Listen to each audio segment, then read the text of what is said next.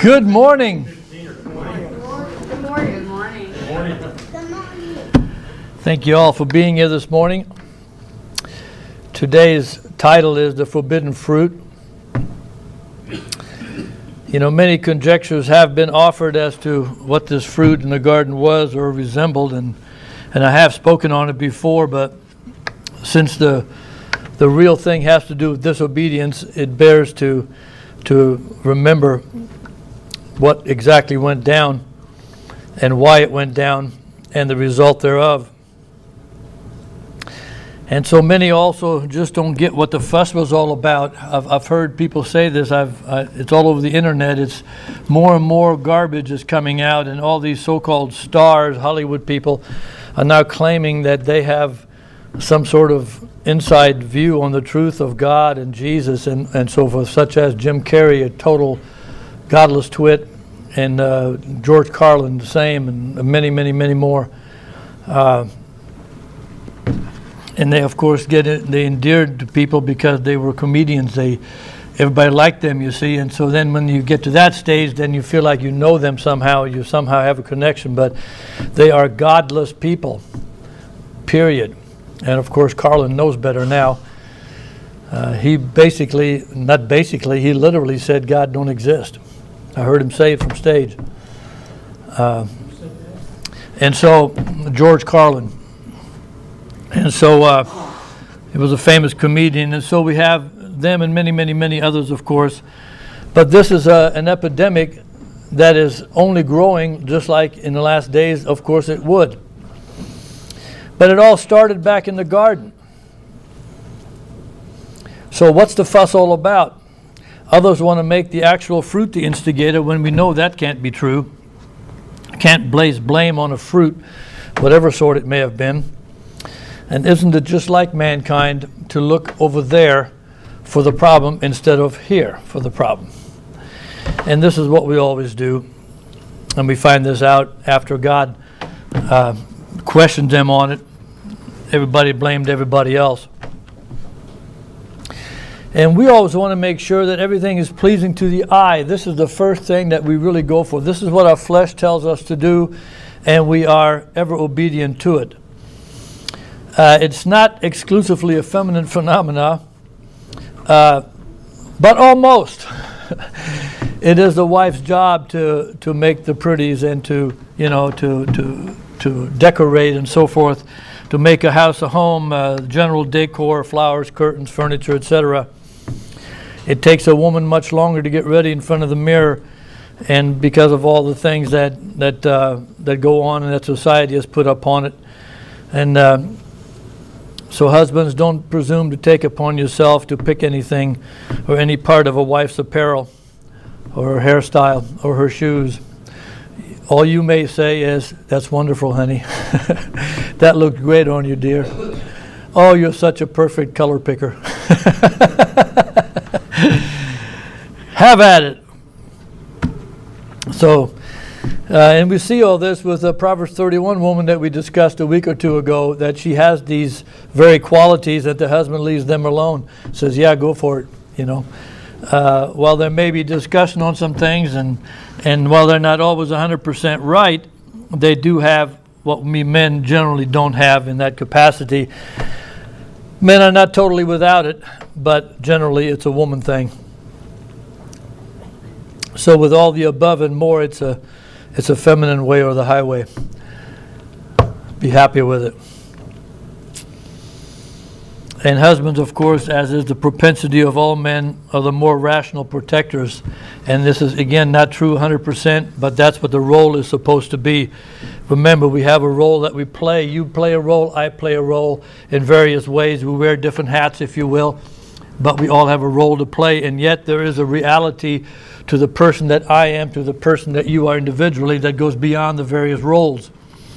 And that's also where we have to know our place and know who and where we are when God presented Eve to Adam, for instance, he did have a sense of beauty. He did have a sense of, hey, this is right on. Because he was asked to name all the animals and so forth, and he watched their gait, he looked at them, he considered their makeup and, and their shape and so on. And the Bible says none was found as a mate for him. obviously. They were not the same kind. And so God puts him to sleep, takes out uh, one of his rib, or maybe just flesh. The word can mean both. And, uh, and he formed with his very own hands, God did. He formed man from the dust of the earth, and then he formed Eve out of Adam. So Adam was a direct creation from God. Eve was an indirect creation from God in that sense. She was not made from the dirt alone. She was made from a part of Adam and then some dirt or whatever added to it that God made. But the moment he saw her, you know, he said, uh, "This is, this is, excuse me, this is now bone of my bones and flesh of my flesh." She shall be called woman because she was taken out of man genesis 2.23 there's a even with nationalities this works. If you ever go overseas and you run into another american there's a there's a desire even whether you do it or not doesn't matter but there's a desire at least uh, to bond okay? These are all hispanics or these are all chinese or these are all africans or europeans wherever you are there's an American, and you feel this closeness to them only because of that. You, you may be miles apart. You may even be actual enemies if you knew one another, you see. But there's this, we're Americans and they're not. Okay? And this is what you have in the world, and this is why you have all these divisions. This is why you have North Korea and South Korea, not just because of that, there's a lot of political stuff in it too, but Tibet trying to get away from China because they're Tibetans, they're not Chinese. The Scottish trying to get away from England because they're Scots. Scotsmen, they're not Englishmen, and so forth. You see, Catalonia wants to get away from Spain because they're not Spaniards, they're Catalonians. This is how this works. So the world will never be put together like the devil wants to put it together. It'll be a fake oneness. And that is indeed what we have. So Adam didn't say to God, hey, that's great, but could you, you know, make it a little more here, a little less there? Could you change her in this or that category? And it is crazy to even think that, but attempting to tweak God's handiwork is what mankind has done. Look at all the transgender crap that's going on. And it is just crap. That's why I freely use that word and rightly. It's complete and total nonsense, uh, and people are ate up. The word helpmeet in the Greek means a help answering to him. The woman is the helpmeet. The, a help answering to him or one who answers is what helpmeet is. A wife is one who answers the husband. And since woman was uh, formed from man, she is obligated to be a help to man, and he is obligated to be her full protection and devoted shielding of his arm. There's no, I'm a boss and you're not. There's just this guy has this job and the woman has that job. And we got to get this. They each have jobs, yet they work together. That's how God designed it, to be working together.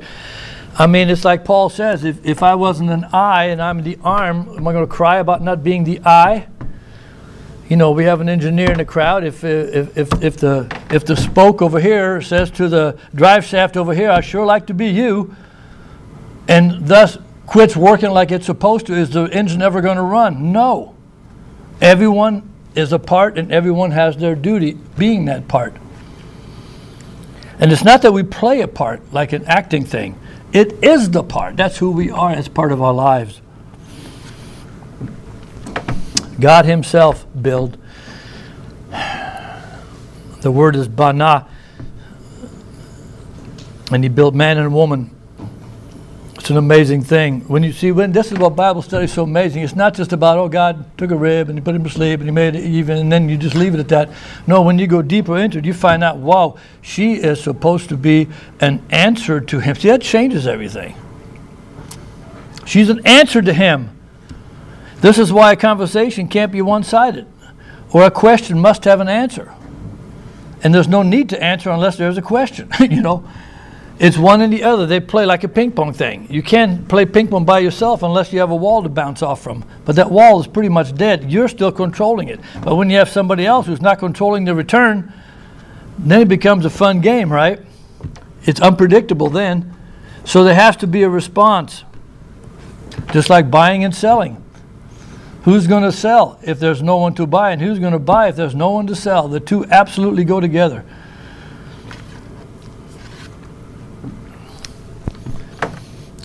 I'd say God's pretty amazing. He's smarter than me. Did you guys know that? All of a sudden, every head went. but I'm glad they did. So it was God's idea to give Adam a helpmeet, but Adam identified with her straight away because, and uh, she was the same makeup and substance like himself. God considers being alone not a preferred thing. He said it is not good that the man should be alone. Genesis 2:18, but Paul says in 1 Corinthians 7, 7 through 9 that he preferred being a bachelor. And he wished everyone could be that way, but because of our bodies and because of passion, uh, it's better to marry. So you have the two. He wasn't coming against God and saying, "Oh no, God's wrong. You should all be." You know, that's not what he's saying, but he was just saying it as a matter of convenience, as a matter of less trouble. And we all, I think, can attest to that. To be alone means to be all one in the singular. God first made all kinds of animals and brought them to him. What would he name them? And of course, he couldn't find one. But when he saw Eve, he instinctively knew that she was like him. And we have to remember that Adam's worldview was nowhere near what ours is. Adam's worldview before the fall was of innocence, walking and talking with God Himself would have been with Jesus, who is always the likeness of the totality of God is Jesus. Paul tells us that in Galatians and elsewhere. It's amazing. Adam is Hebrew and means red earth, and Eva or Eve is also Hebrew and it means life. So you have earth and life.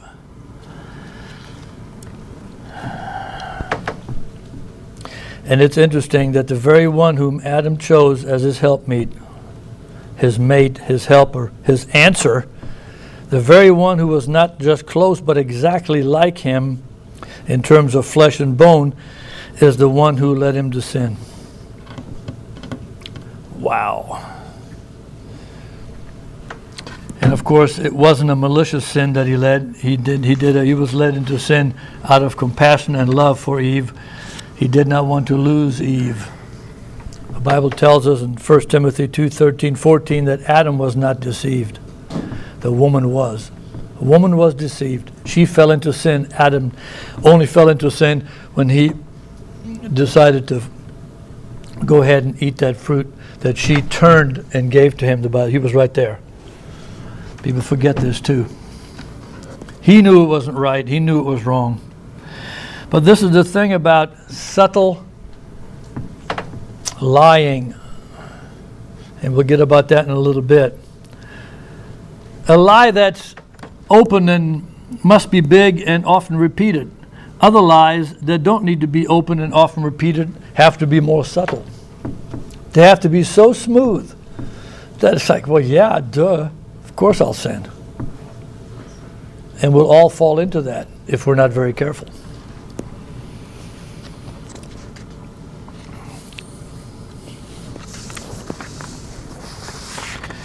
So with this decision to eat of this fruit they not, they've been told not to eat from, they crossed over to the spiritual side of life. They'd experienced God walking and talking with them in the cool of the day in the garden. They experienced authority being over all the animals, the fowl, the fish, and the sea, and everything. God made Adam Lord of this earth. And he placed him in this garden. That's where everything was supposed to spread from there with that same intent. And of course, it didn't go very far. We don't know. We know Adam was formed as an adult, not a child. We don't know how far into after his forming the fall came, but we know it couldn't have been that long. Just like the flood, Noah built the built the, uh, uh, I mean the Nimrod, excuse me, began to build the Tower of Babel uh, less than 100 years after the ark landed on, on the Ararat Mountains of today's Turkey. That's not very long. The children of Moses or of Noah right away went out, and within you know several generations, there two or three generations, there were a bunch of people on earth. That's how it goes. And if you do the math, the math will bear that out. There are some who estimate a population, world population of 10 to 12, some say as high as 15 billion people when the flood occurred.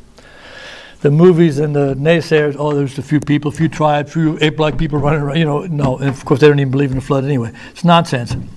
These same movies tell us that, oh, when David's armies fought, there might have been a few dozen guys here against the two. No, no, no. The Bible says that uh, 200,000 men from Judah, 200, you know, uh, 50,000 from so and so, 75. I mean, there was a bunch of people. I'm going to believe the Bible. There was a whole bunch of people. Ah, the forbidden fruit. So we crossed over into the spiritual side of life, the side that cannot be easily recognized or controlled aside from strict obedience to God's word, and that's the point. We needed to be tested. This is where the forbidden fruit comes into play. People make jokes of it today because they don't believe any of it. Just like every baby born into the world since, Adam and Eve were created innocent. But again, like every innocent baby, the question is would they remain that way? This is why we as parents must be very careful not to let the cuteness override justice. Justice in the home, justice with, yes, mom, dad, not, not put up with any disobedience. And the earlier you start, the better. God says if you don't spank your children, you don't love them. Think about that. The world says exactly the opposite. Does every child need to be spanked? No. Some people get it with a look and some don't, but some do need to be spanked.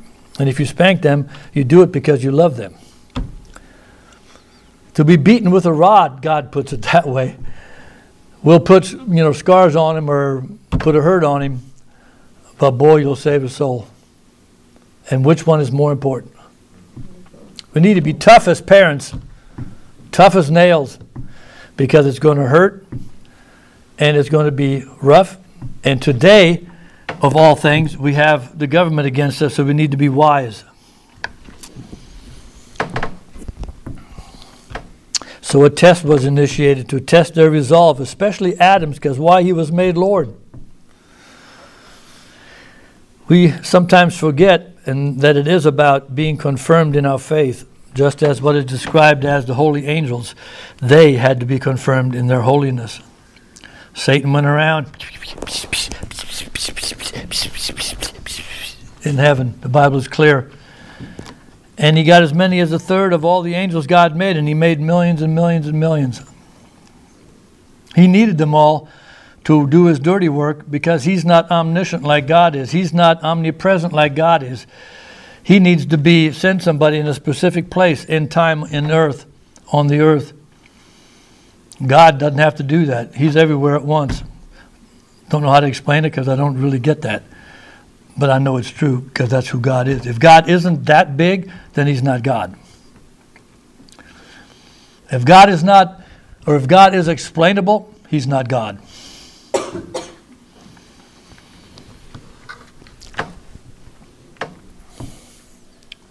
God's test consisted of allowing Satan to put them through the paces. He'd already done it up in heaven. Being born of innocence does not on its own place one in favor with God. Just like children, you know, they, uh, they don't get counted guilty or not guilty uh, until they reach the age of accountability. However, just because they haven't reached that age yet doesn't guarantee them anything. God knows exactly when someone's ready and when they're not. We can only guess. So, being tested and passing that test is where it's at. And it's God and God alone who must be obeyed. You know, in John 6 29, the disciples asked him, uh, 28, What shall we do that we may work the works of God? In other words, we want to do the will of God. Jesus answered them in 29 and said, This is the work of God, that you believe in him whom he sent. So believing in Christ is the work of God, and it's the only work we're called to do. And people, of course, confuse that with their own works and trying to make it to heaven. You guys already know that. We can never work to make it to heaven because everything that we have is given to us. Nothing came on our own. But our faith, we do give. Our faith is what we willingly give. It's the only thing we actually own. If I didn't own my own faith, my giving it to God would be worthless. If God understand that. It must come from me and me alone. And there are so many who teach, oh no, God gives you the faith to give. They call it saving faith to give. God gives you faith to have faith in Him. Well, then He's got to give it to everybody because God says He wishes that no one would be lost, that all come to the knowledge of Him and be saved. Well, somebody's wrong, and it isn't the Bible. It's my faith that God wants, and it's my faith that I have to give, and it's the only thing that I truly can give. I can't contribute in no other way to the salvation. And I'm glad for that. I couldn't have thought of it. I couldn't have arranged it. And I certainly couldn't have paid for it. Wow, that's awesome stuff. Ow! That's right. You know, no one publicly, especially on TV, and not many on the web actually teach this biblical concept that we have to be tested. But we do. Once you come, will you remain? Abide, abide, abide, abide. It's everywhere. Dozens and dozens of times all over the scriptures. Abide. Don't let your faith be destroyed or shipwrecked, ruined in any way, shape, or form, because that faith cannot save you. So God is love and life, and Satan is a liar and a loser and dead. He's spiritually dead. He's already dead because his end is already known. Just like all who choose not to believe, not to do the work of God that Christ said in John 6 29. What's the work of God? To believe on him whom he sent. Who did he send? Jesus. The Savior, hallelujah. Yeshua HaMashiach, the Christ, the one anointed of God.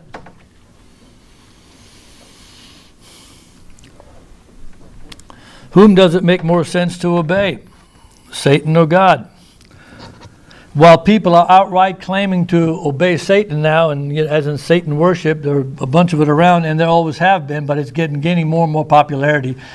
And people are implanting things in their, in their shaving their heads and implanting things that look like they have horns. I mean, all kinds of stuff. It's crazy walking around like that. And talk about transgender, right? Anything and everything to uh, to come against the truth. We're surrounded by it, and we got to be strong enough to realize it. And also strong enough to realize that, hey, God's calling me to talk to this person. But if you talk to somebody and they completely go off on you, then you were wrong about God. He hasn't prepared their heart. The Bible says in Proverbs that, uh, you know, to try to witness to a fool is not wise. He may turn against you.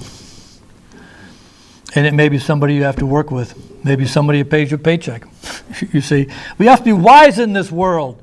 We live among sinners in a screwed up, ate up, going to the lake of fire world where millions and millions, if not billions, have sold their souls, seared their consciences, and they're never going to come.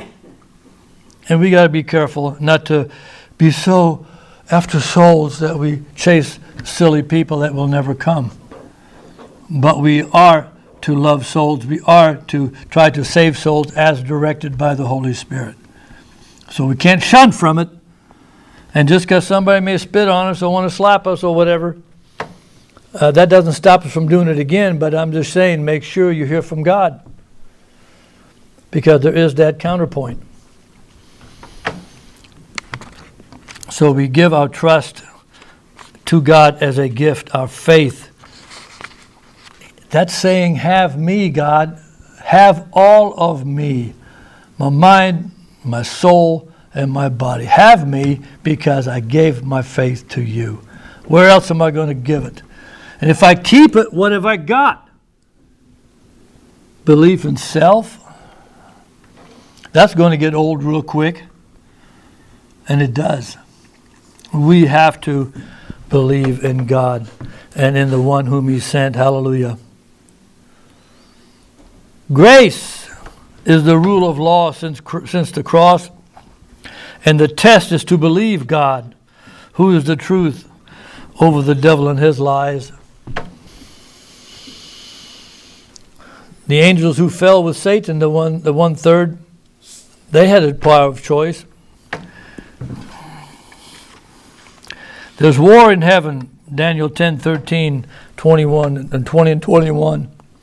And here's what that warfare is to us, described in Ephesians 6, 10 through 18. This is all part of the fall, all part of the forbidden fruit. It wasn't about the fruit, it was about the disobedience. Who cares what the fruit was? Go with me to Ephesians. Let's go over that because it's wonderful stuff. Corinthians, Galatians, Ephesians, chapter 6, the very last chapter. Paul is very succinct. I've preached on this a bunch. Spiritual warfare.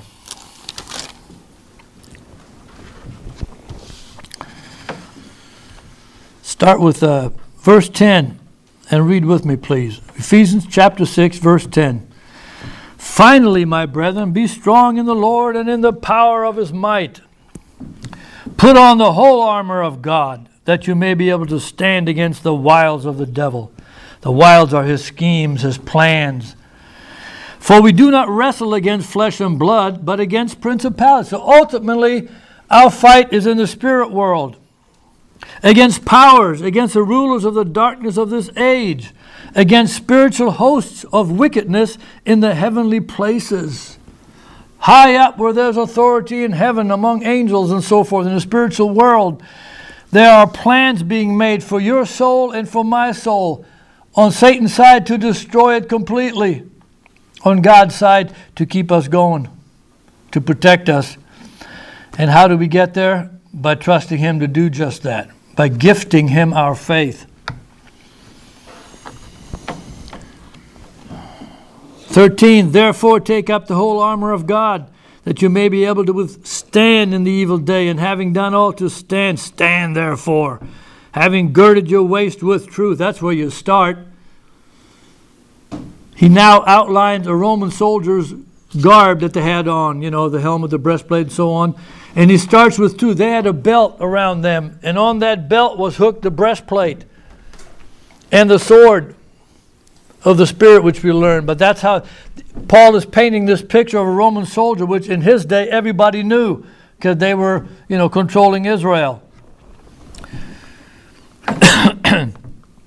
so having girded your waist with, why did you start with truth? Because if you don't start with truth, nothing else matters.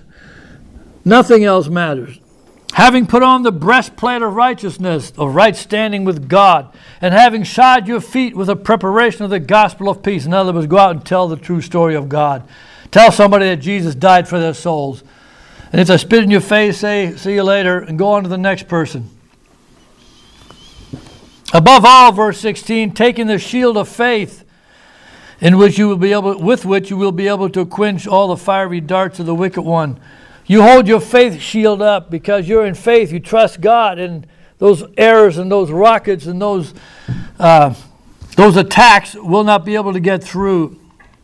And then take the helmet of salvation, verse 17, and the sword of the Spirit, which is the word of God, praying always with all prayer and supplication in the Spirit, being watchful to this end with all perseverance and supplication for all the saints and then he says, Pray for me, etc. We're to pray for the whole church. I name names in my prayer, but I don't always get it done, and I forget people now and again, you know, especially people who've left and people who haven't been in my life for a while. We've, we're all in that place. But when I say, Lord, bless all the saints, all those who love you, does He know who that is? Well, yeah. I don't have to give Him a name or a hair color or whatever, you know what I'm saying? Praise the Lord. But if I just stay there and I just, you know, sort of superfluously say that all the time, then that gets to be a habit that can water things down. You understand? So you got to get on your knees, and then you don't have to always, but you got to get back on your knees, and you got to answer some some questions yourself, and you got to ask him some questions, and you got to name some names, and then you forget them, but you name it. You know, this is kind of thing. Is that not how you guys pray? It's how I pray. I mean, that's just how it is in my life, and I'm pretty sure that I'm not special. Except, of course, to my wife.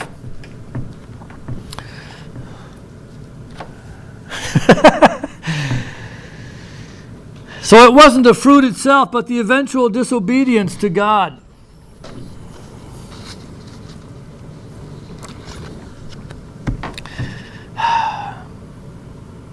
Our choice is the most powerful and precious thing we have. How come on, let's go to a party. We won't get caught. We won't, you know, we'll get a little drunk. We won't get caught. You have a choice right then and there. Oh, you really ought to meet this guy or this girl. You know, they got this, blah, blah, blah, blah, blah. You got a choice to make. You ought to take this class. The professor's really good. You have a choice to make.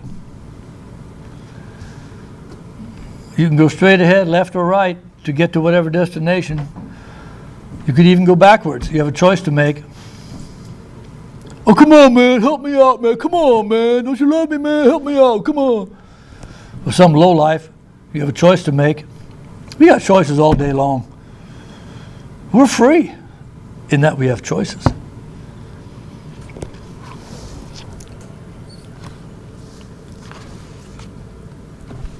So we have war in heaven. The war is for your soul and mine. And God's already told us how to get ours. Get in faith, stay there. I don't care what happens. I don't care if your head gets cut off. I don't care if they skin you alive. I don't care if they cut your kids' throats in front of you, and they've done plenty of that in the past. You stay in faith.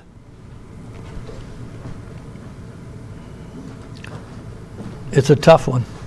I'm not saying I'm above any of that. I'll struggle with it just like you, especially in the things I just mentioned. Why does everybody need a sweet story? I don't get it. We're living in an evil world. Their eternity is shot unless they get right with God. And everybody wants to, you know, do the fiddler on the roof thing. Are you kidding? Playing a silly game. I've said it before, you guys know I like to have fun. I got jokes. My son knows we joke all the time. My wife, we joke all the time. I'm a happy person. But when it comes to the Word of God, we better get right. And that ain't the time to make fun. Satan wants to be worshipped as God. He knows he can never be him. He doesn't even try to try to convince people that he is, although some will call him that. And well, you know, God's his, or Satan is this, this person's God, or that person's God. Well, I get that, but he himself never said that. He said he wants to be like God. He never said he wanted to be God. Two different things. So it all starts with a test and the perversion of that test by Satan. It wasn't the fruit, but the eventual disobedience.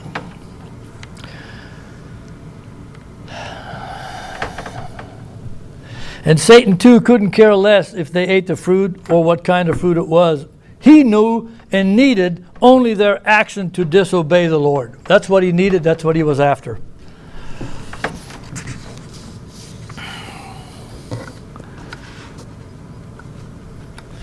And this disobedience would have yielded the same result no matter which tree they would have picked from.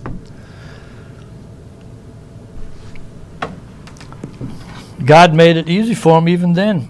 He gave them a particular, there were thousands of trees. They all looked good, smelled good. The, fruit, uh, the fruit was good because he made it for them, for them to have to eat for food.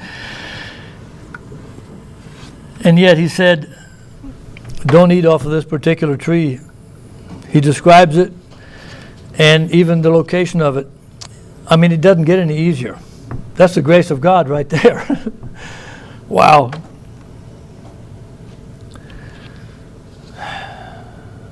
You know, why didn't you say, okay, if you disobey me, in any way you'll have the knowledge of good and evil, and that's not good for you? They would have still disobeyed. But he gave him a particular thing, a particular object.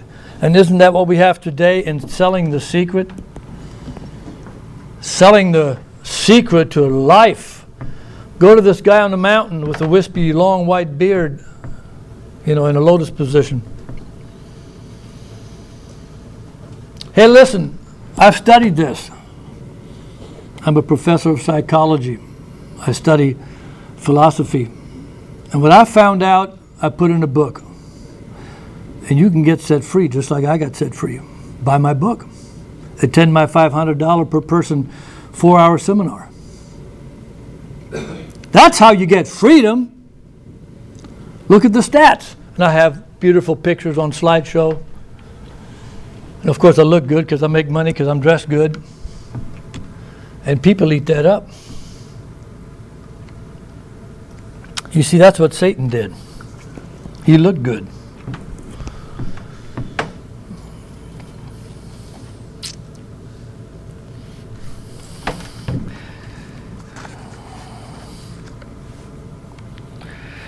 Just like the little independent minds, they constantly want to know why.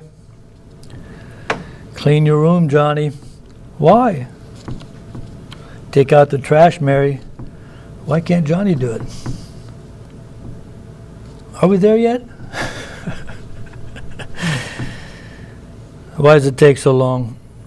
Why do these things always happen to me? Why wasn't I given this or that?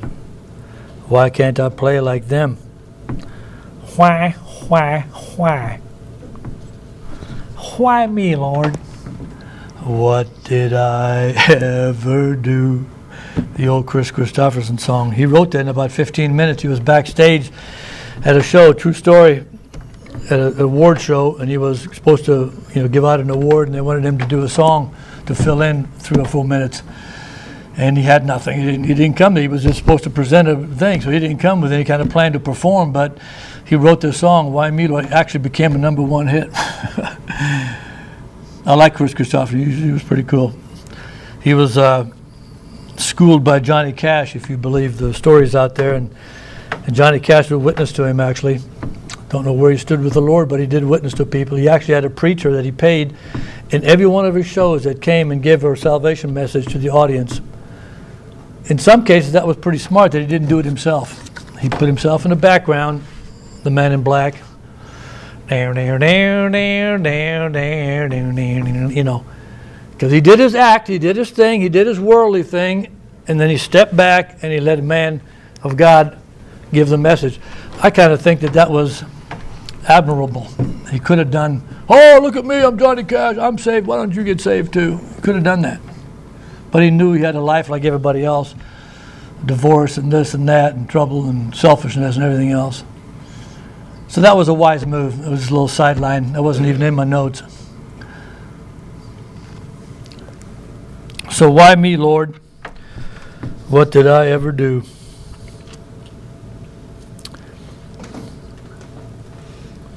You know, Eve wandered with just one.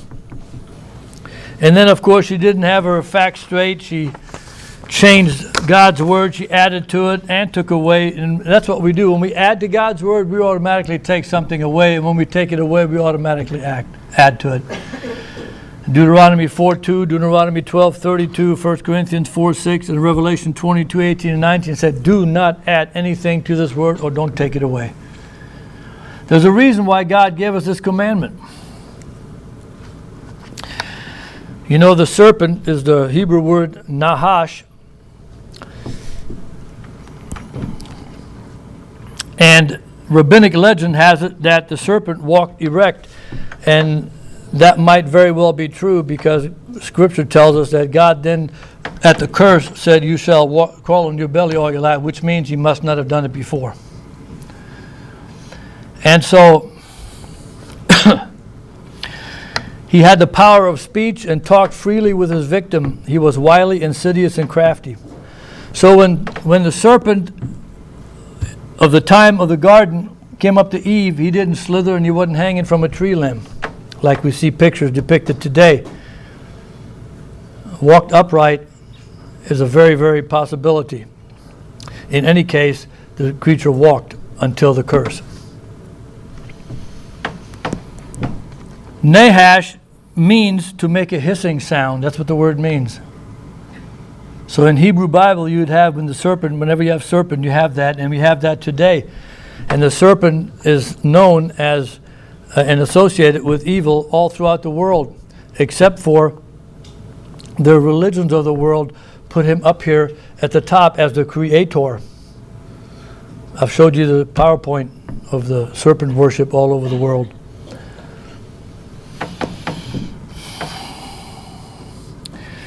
Another uh, thing in the Hebrew word for subtle. Now the serpent was the most subtle creature God had made. Hebrews, uh, I mean Genesis 3:1.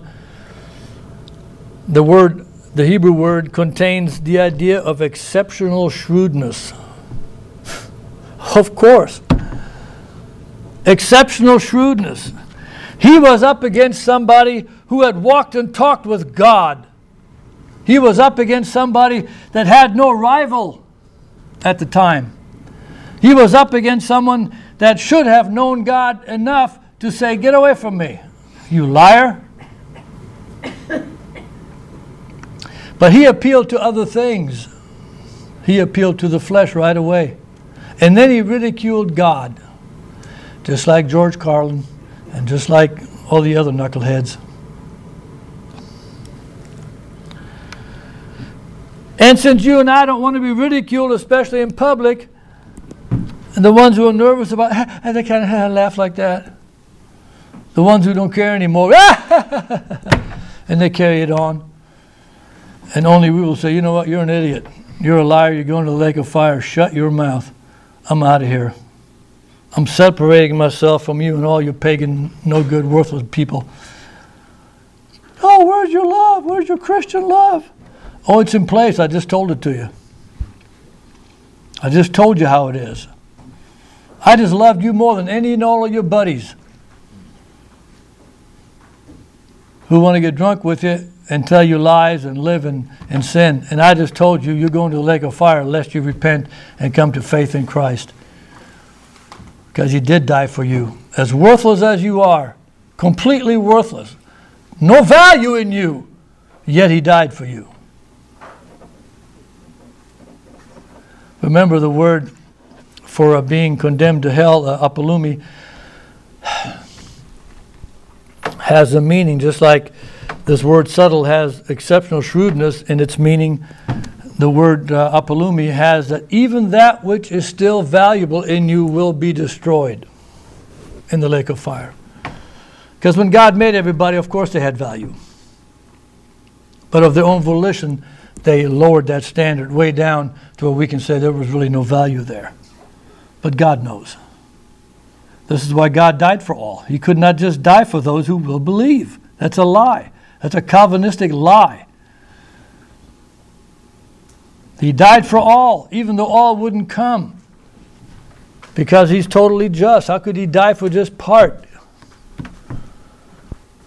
You know, if you have two or three kids, you're just going to take care of the one or the two, or you're going to take care of all of them. You're going to feed them all, you're going to clothe them all, you're going to love them all, you're going to school them all, you're going to spank them all if you need to.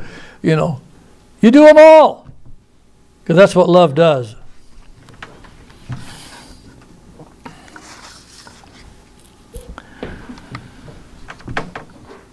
The serpent was more subtle than all the rest.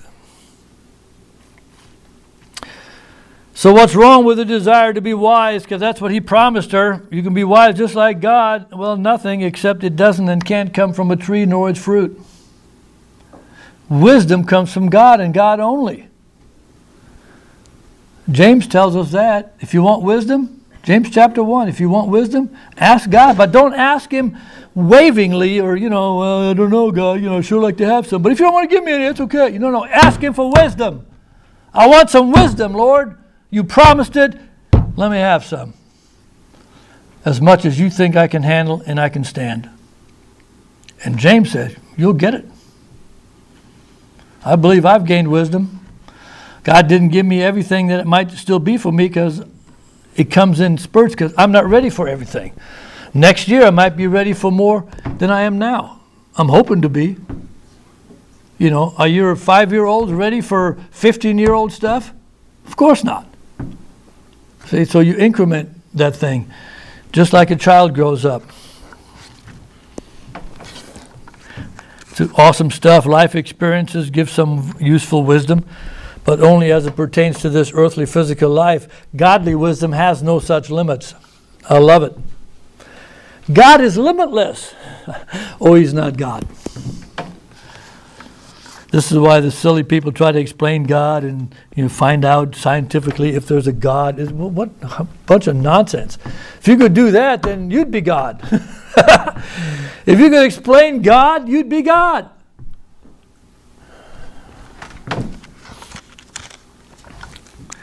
I will be like the Most High, he said. They both walked and talked with the Lord in the cool of the day, Genesis 3 8. God had to test them. Yeah, but God already knew the outcome. That's right. The test wasn't for him, the test was for them. You don't get tested to become a PhD or whatever for the school. I mean, you do in the world because, you know, so many PhDs. So many. But you get tested for you so that you go out and get a job, that you go out and do the, and do the, the skill. You see, you get tested for you. That's what this is all about. Any test is for you. Are you still awake?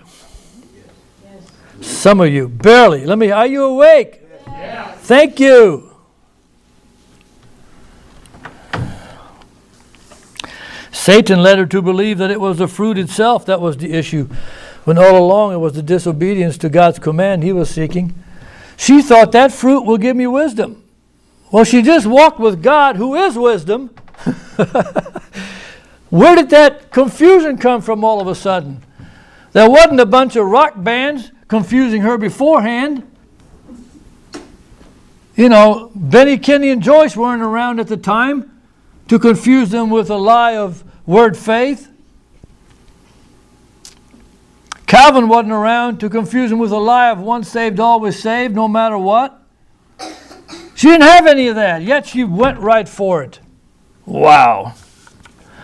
No wonder Jesus has to rule with a rod of iron during the thousand years. Satan's locked up, so he's on no one's shoulder. He's not commanding anybody to do anything. It's purely mankind who made it into the millennium, who will get worse and worse and worse and worse and worse until the thousand years is up, and they will attack Jerusalem one more time. Wow. The problem is, had got inside Adam and Eve when they sinned, and it wasn't going to go out unless there's a new birth. That's why you and I have to be born again. We're born with the Adamic sin. Innocent, but not sin free.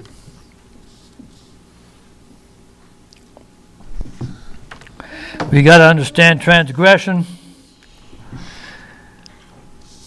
the responsibility that goes along with it. And so, how much good for humanity as a whole does the women's lib movement do? Well, none. Look where we've been in the last 40, 50 years since the 60s. Look where we've gone. We've gone to legalizing every kind of perversion there is. and not that that movement is the culprit, it's just one of the many things that led to it. God has declared that her desire would be for the man. And that the man is in charge of the family slash house. But then we read Proverbs 31. And who really runs the household? A virtuous woman. She's a business person. She raises her kids. She has servants. There's nothing lowly or weak or cheap or anything about that woman. That's how God sees women who know their place. That's awesome stuff. And men as well. And men have been idiots for mistreating women all these decades and centuries and uh, decades, millennia. Always blaming somebody else Satan is the wrecker of families and homes. And you know he had no power over Eve except that which she willingly gave him. He said, There's where the wisdom is to be found. She said, Okay. By saying okay, she obeyed him, not God. And he never said, Listen, obey me. He never said that. He just said, Why don't you find some wisdom? Because you know God, He wants to keep it from you. He never put himself on a pedestal and said, Do it because of me. Let me be the one. He never said that. But he got that anyway. Oh, we got to look at, we got to think a little deeper here all the time.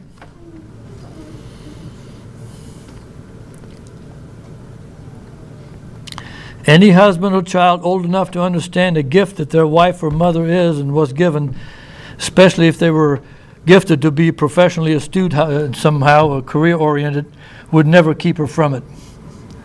Just that they work together. But motherhood comes first and foremost. And so, and God and Satan knows this too. So what's he do? He wrecks households so much so that everybody's so busy working just to make a buck to pay the bills. And then the other stuff sort of flies by. This, even if you believe in the other stuff and you work the other stuff to the best of your ability, it has no choice but to be down here somewhere. It can never be raised up to where it's supposed to be because the time isn't there. The opportunity isn't there because you're at the factory all day.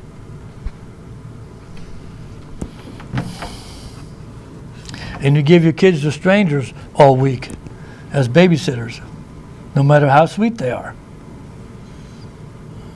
And you pay half of your salary for most women or more to that, whatever they make the, on the job. I mean, that's a screwed up mentality. It's a screwed up system, but that's where we all are in this world, aren't we? Hang in there with me. I'm almost finished.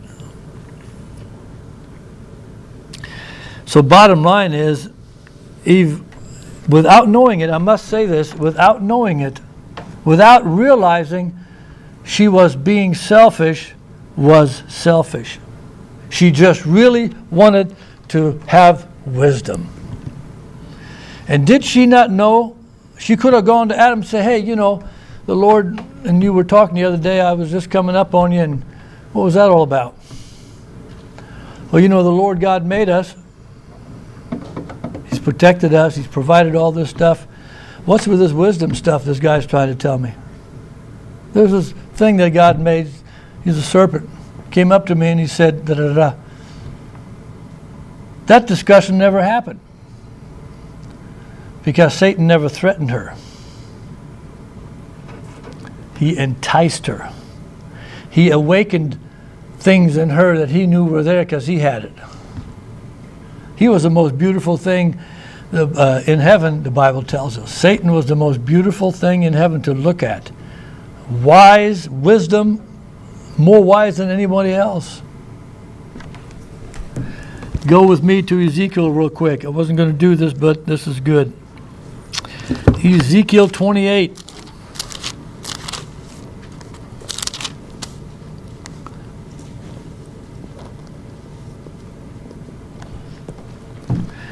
Nah, it's Isaiah 14. No, no, no, it's Ezekiel 28. All right, Ezekiel 28, uh, starting with verse uh, 12. When you're there, say, Ow! I've read this before, but it's been a long time. We need, you probably haven't been there on your own, so I'm going to read it again. Chapter 28, the book of Ezekiel. Are you there? Son of man, take up a lamentation for the king of Tyre and say to him, Thus says the Lord God. Now, here he's speaking to the, the real physical king, but he's not addressing a real physical king. And we find this out by what's being said. Thus says the Lord God. So he's really addressing he who is controlling the king of Tyre, this physical human you were the seal of what? Perfection. What man can say that? Full of wisdom and perfect in beauty. Wow. He's describing not the king of Tyre, he's describing Satan. You were in Eden, the garden of God. This also, this is there are two Edens there's a mineral Eden they call and the vegetable Eden. The vegetable Eden was where Adam and Eve was. The mineral Eden is around the throne of God. The precious fiery stones they call them, the topaz, the diamonds that, that lay before the throne of God in heaven. So that's what this talking about. The king of Tyre was not before the throne of God in heaven. So you were sealed perfection, full of wisdom and perfected in beauty. You were in Eden, the garden of God. Every precious stone was your covering the sardius, topaz, diamond, beryl, onyx, and jasper, sapphire, turquoise, and emerald with gold.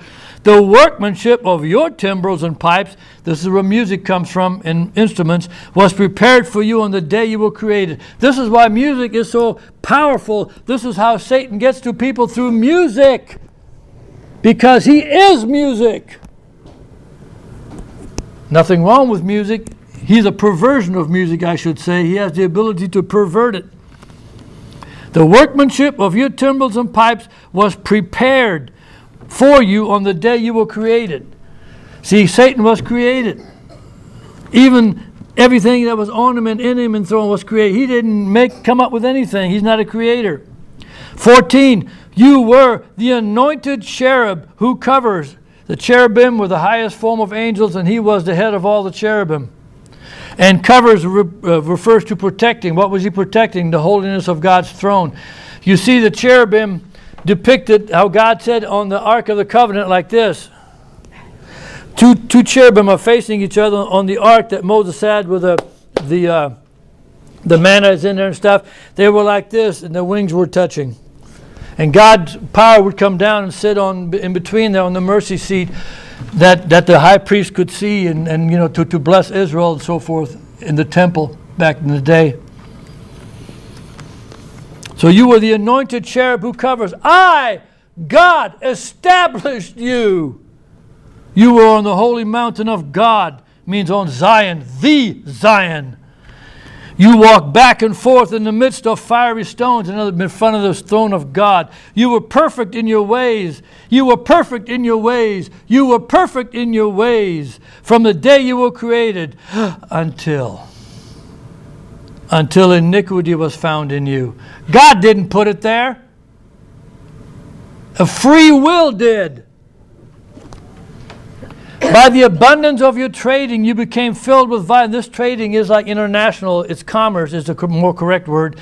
By the abundance of your trading in commerce, you became filled with violence within and you sinned. See, he was taking the king of Tyre and controlling him and making him rich, thus making himself rich, thus getting more and more souls to control. Everybody get that? That's what this means. By the abundance of your trading, you became filled with violence within and you sinned. Therefore, I cast you as a profane thing out of the mountain of God, and I destroyed you. This is way back, and he's already destroyed. Remember, I said to you, he's already dead? This is why I can say that.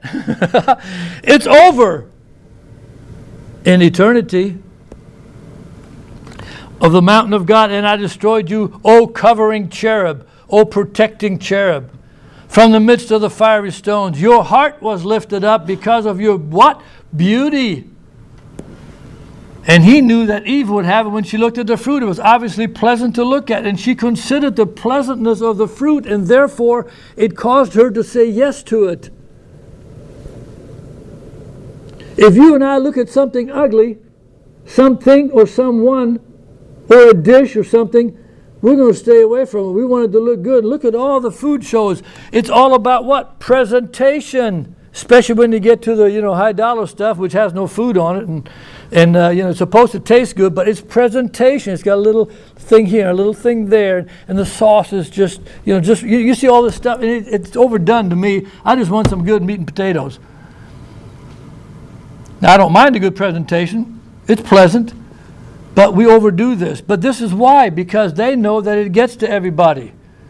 It causes you to buy it, it causes you to sign up, you see. So you corrupted your wisdom for the sake of your splendor. I cast you to the ground. I laid you before kings, Satan, that they might gaze at you. That's all those who are in the lake of fire or in hell already at that time. You defiled your sanctuaries by the multitude of your iniquities. So many sins you can't even count them. By the iniquity of your trading, again, this is all about uh, making money, mammon. Therefore I brought fire from your midst. I devoured you, and I turned you to ashes upon the earth in the sight of all who saw you. All who knew you among the peoples are astonished at you. You have become a horror and shall be no more forever. That's at the end of the thousand years. Satan is thrown, he's done. But that thousand years is still ahead of us in time. But we'll be out of here. Hallelujah. That's who Satan is right there. Not this, you know, blood dripping from fangs, nonsense on posters. Satan is looking good. Satan is wisdom. Well, he's not wisdom, but he's full of wisdom. Jesus is wisdom. I meant to correct that, let everybody not misunderstand me there. But if Satan didn't have some wisdom, he'd be an idiot. And he's no idiot. This is why you can't engage.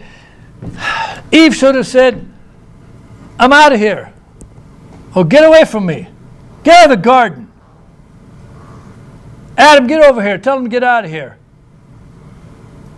But she engaged with him. This is why a, a, slick lawyer can get you to say things he wants you to say, understand, if you engage in that. And then most people do because they're afraid the judges, you have to answer. You know, it's like if somebody, yes or no? I don't want an explanation, just answer yes or no. I made up my mind a long time ago. That's never going to be the case if I'm on, on the seat. I'm going to tell you my mind. I'm not going to tell you yes or no. Because yes or no can be a leading question. Have you quit beating your wife yet? Yes or no? Don't give me. If you say no, that means you're still doing it. If you say yes, it means you did do it. See, it's a leading question. Yes or no doesn't cover it. If you're innocent, you understand what I'm saying? But if you ask that question and force yes or no, you're making yourself guilty no matter which one you answer. This is what politicians do day in, day out. This is why I say none of that's biblical. And this is why you're voting. My voting is worthless. In the end, it is. You can vote if you want, go for it. But the point is, you're not really getting anybody else because you've already been given candidate A or B. It's already done for you. And not to make you feel like you got a part in it. Oh, look, you can choose. It's ridiculous. That's not democracy anyway. But let me not digress any further. So the wrecker of families is Satan. This guy I just described, this being, way more smarter and powerful than you and I, but he can never, ever take what you don't want to give him. Never. He doesn't have that power. He gets it through the several back doors, you know, and sneaks in and looks a certain way and all this kind of stuff, gets you to think a certain thing. And then if you follow that long enough, bang, he's got it and you don't even know it's him. Wow.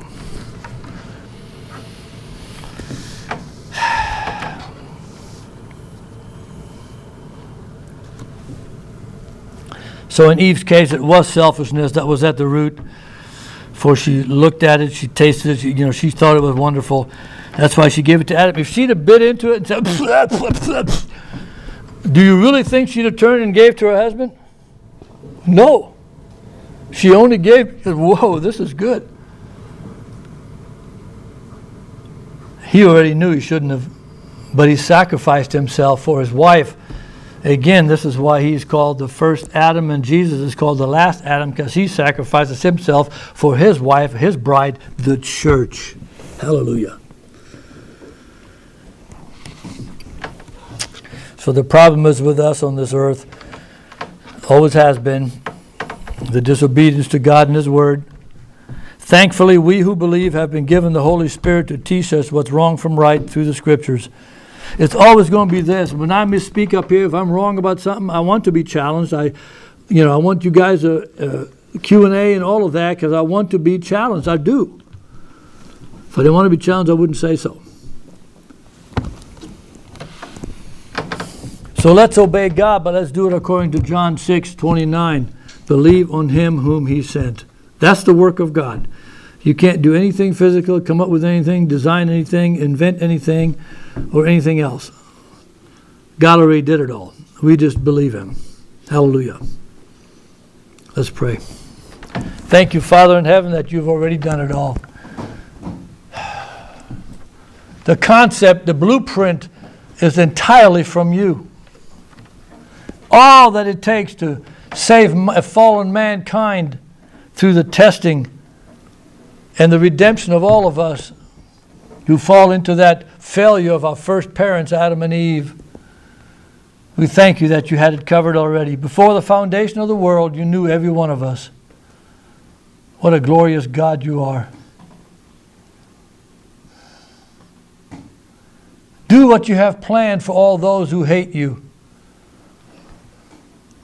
Let them all be condemned as they deserve, just like Paul says in 2 Corinthians. I'm in agreement with that. I'm in agreement with King David, who also prayed these things.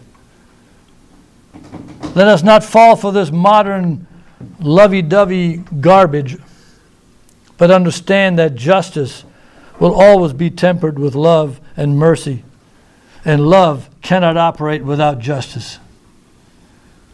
And that you represent all of that. Thank you for your grace and your mercy. Thank you for your many gifts and the awesome treasures that are laid up in heaven for many of us. Forgive us our sins, Lord. Allow us to witness to as many as you put before us. Prepare their hearts before we ever even speak to them. Let us be a discerner of spirits so we don't waste our time and cast out pearls of that precious gift of salvation that only belongs to those who truly believe. Thank you, Jesus. Thank you for all you do and are continued to do until you call us home. In your name we pray. Amen.